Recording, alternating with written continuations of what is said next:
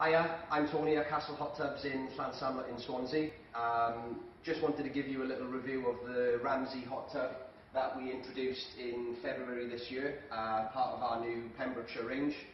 Um, so as you can see, it's a six person hot tub.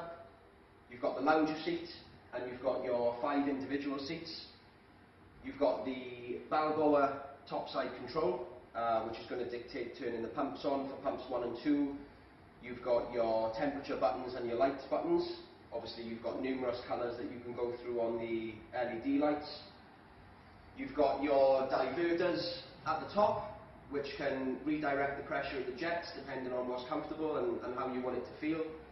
On certain jets inside the tub as well, you can also turn the jets clockwise and anti-clockwise.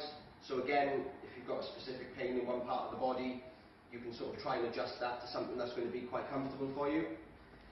Um, you've got the Bluetooth sound system, so you've got your speakers on the cabinet on the outside, so just nice and easy just to connect your, your phone up to that.